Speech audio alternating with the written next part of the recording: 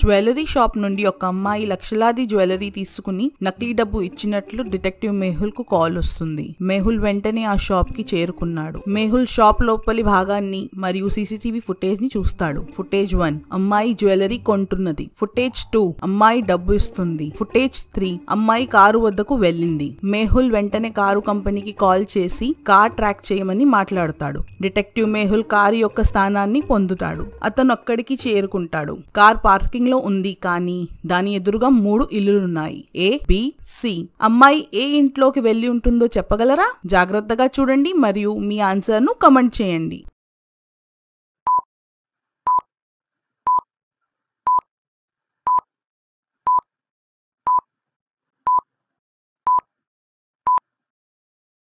దాని సమాధానం చూద్దాం. అమ్మాయి హౌస్ ఏ లో వెళ్ళింది. షాప్ ఫుటేజ్లో అమ్మాయి షూస్ చూడండి. మరియు ఆమె షూస్ హౌస్ ఏ ముందు ఉన్నాయి. మేహుల్ లోపలికి వెళ్ళి ఆ అమ్మాయిని పట్టుకుంటాడు. తదుపరి పజల్ చూద్దామా?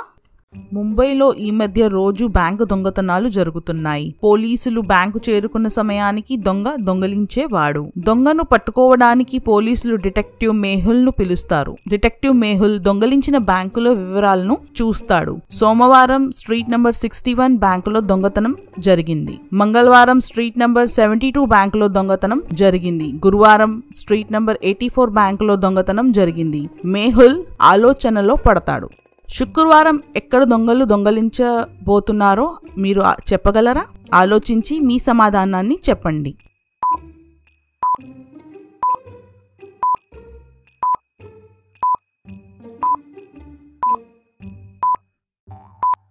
దాని సమాధానం చూద్దాం. మొత్తం ఆరు అక్షరాలు సోమవారం. మరియు వారంలో మొదటి రోజు. కాబట్టి స్ట్రీట్ నంబర్ సిక్స్టీ వన్లో దొంగలు దొంగలించాడు. మంగళవారం మరియు రెండవ రోజు ఏడు అక్షరాలున్నాయి. వీధి నంబర్ సెవెంటీ టూలో దొంగలు దొంగలిస్తాడు. వీధి నంబర్ సిక్స్టీ ఫైవ్లో దొంగలు దొంగలిస్తారని మేహుల్ తెలుసుకుంటాడు. మేహుల్ ముందే వచ్చి దొంగలను పట్టుకుంటాడు. మేహుల్ యొక్క అవగాహన కోసం వీడియోను త్వరగా లైక్ చేయండి. తదుపరి పజల్ చూద్దాం. ఈ నాలుగు కార్లని చూసి వాటిలో డిఫరెన్సెస్ ఏమిటో చెప్పండి. జాగ్రత్తగా చూడండి మరియు మీ సమాధానాన్ని కమెంట్ చేయండి.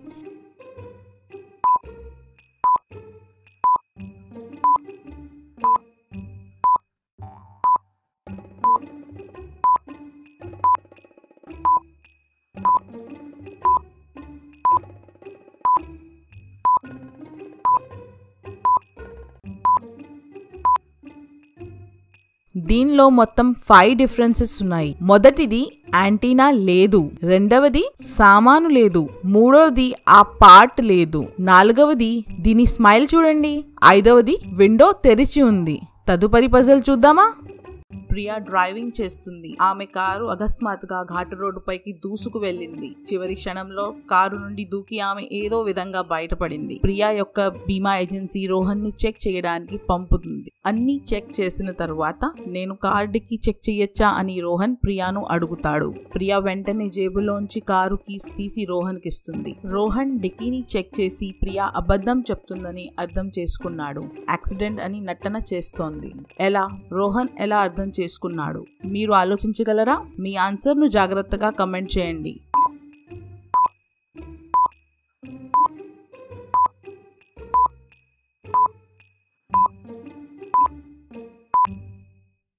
ఇప్పుడు దీని సమాధానం చూద్దాం. ఇది కనుక ఒక యాక్సిడెంట్ అయితే ప్రియాకు కీ పొందడానికి సమయం ఉండదు. ఆమె యాక్సిడెంట్ అని నటించిందని అర్థం. తదుపరి పజల్ చూద్దాం. మీ ఒక కాలులో ఐస్ ఉంది మరొక కాలులో చెక్క ఉంది మరొక కాలులో ఇనుము కడియలు ఉన్నాయి మీరు ఈ కాలుతున్న బొగ్గుల్లో ద్వారా నడవాలి. ఈ మూడిటి నుండి మీరు ఏ మార్గాన్ని ఎంచుకుంటారో చెప్పగలరా? ఐస్ చెక్క లేదా ఇనుము? జాగ్రత్తగా ఆలోచించి మీ సమాధానాన్ని చెప్పండి.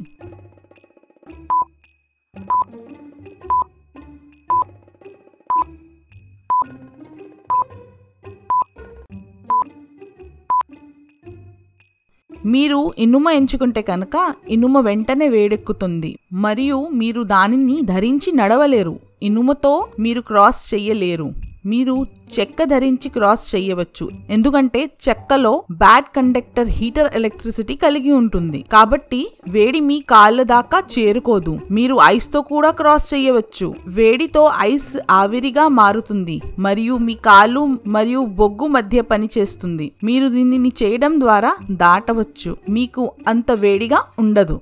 Thank you.